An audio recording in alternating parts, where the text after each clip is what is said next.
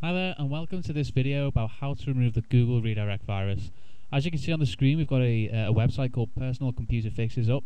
Uh, this has got one of the most effective and reliable Google redirect virus uh, tutorials uh, on the internet. I mean we've used this over and over again to remove this virus from various people's computers, uh, various clients of ours and, and, different people on the internet and it's worked wonders. Um, they do it a little differently than what most people say but it's highly effective. So I'm going to basically walk you through their tutorial and show you exactly what uh, you need to do to get rid of this infection from your PC today.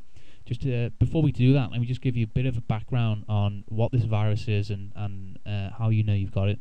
Essentially, as uh, as the name describes, Google Redirect Virus is a virus that redirects the search engine results on your website, uh, on your internet, to different uh, malicious websites. Um, most typical, it's, it's when you look at Google and when you type um, just some random um, search into the, the search box and it'll come up with some websites. You click a site and it'll take you to some some really crazy site. Some of the sites you take to include the likes of um, FloridaTraffic.com, um, results5.google.com, some some really strange ones. Anyway, the bottom line is uh, this virus uh, is very infectious and it's very damaging. And uh, the problem that most people have is that it's actually quite difficult to remove basically because of the way it installs itself on your PC. The problem is that most viruses install themselves either with um, an application or some kind of malicious file that will do some damage to your PC. The Google redirect virus doesn't do any of that. It will just install, it will just change various settings on your PC and cause them to basically redirect to the wrong sites. So to cut a long story short, the way to fix this, there are five steps you need to take. I'm going to show you how to do it now. So the first one is to use a program called ComboFix. This is a, a little known tool by bleepingcomputer.com. Um, it's free to use and um, basically you can just download it to the desktop of your PC. Let's take that off there. As you can see, it's downloaded. It's like a little tiger icon. Um, I'm not going to click it because it will basically restart my PC because I don't have the virus. But what you need to do is essentially download the thing, uh, the program, put it on your desktop. Then step two, close any programs that you've got running. Step three is to download a notepad file which basically has a little script inside. So if we download that,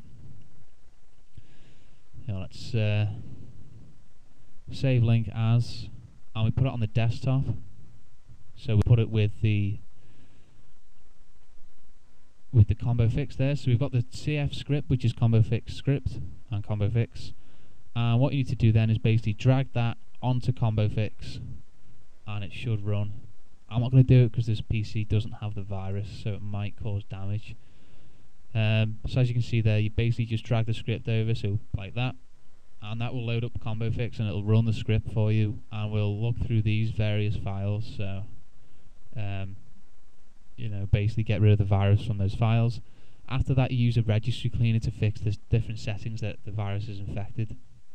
Now, uh, we've got this installed already. It's called Frontline Registry Cleaner. Uh, it's a very popular tool on the on the internet right now, and essentially what it'll do is it'll scan through your PC and fix the various um, settings that are in the registry. Now we've just done a scan on this, so don't know how many errors it will find but basically, uh, what most people forget to mention when they talk about spyware and adware removal is that there's a lot of settings left inside the big database called the registry inside Windows. Now, the registry is like a library for all the different settings and software for your PC.